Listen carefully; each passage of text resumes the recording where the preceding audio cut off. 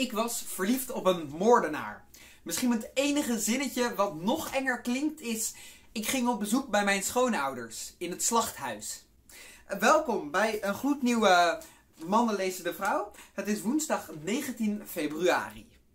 Meestal als ik het blad bekijk, dan denk ik van... Oké, wat zal het deze week weer zijn? Maar deze keer had ik er gewoon echt vet zin in. Want voorop staat... Ik was verliefd op een moordenaar. En daar gaan we het met jullie over hebben. Buiten, terwijl ik aan het opnemen ben, raast de storm wel een beetje door. Ik hoop dat jullie er niet te veel last van hebben.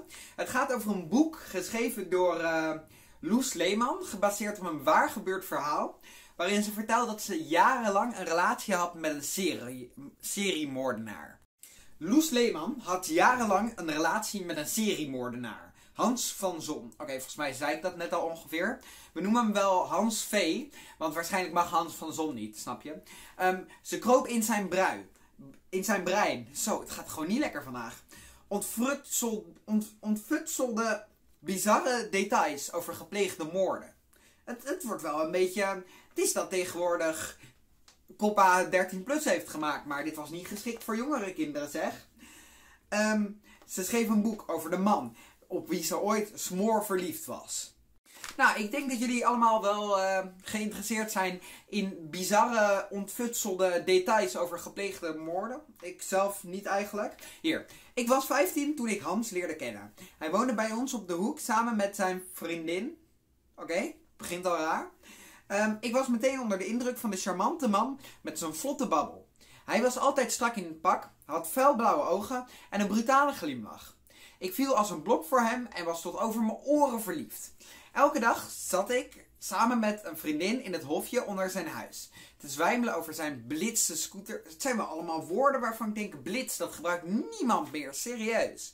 Nu komt dan het comedy segment.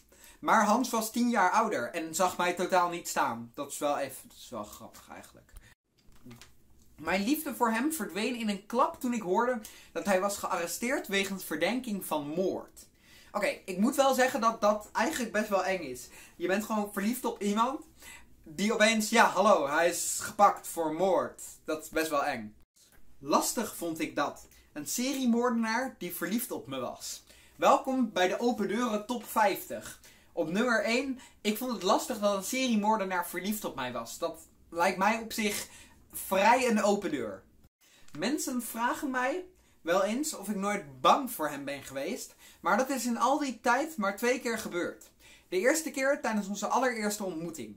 We reden naar een afgelegen dorp en zijn gezicht werd steeds bleker, zijn handen waren nat van het zweet en hij had een kille blik in zijn ogen.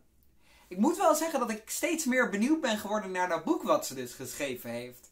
Ik denk dat daar echt een perfecte boekreview over kan schrijven.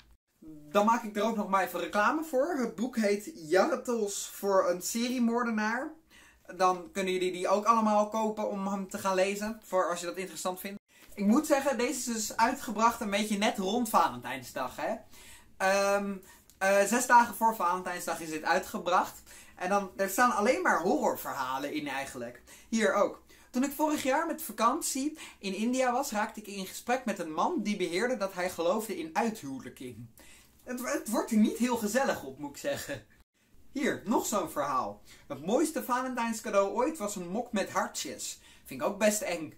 Dan hebben zij nog, dat vind ik best wel grappig, dat zou ik op mijn Instagram ook wel willen doen. Ze hebben dus gevraagd, vinden jullie, degene met wie jullie zijn, romantisch genoeg?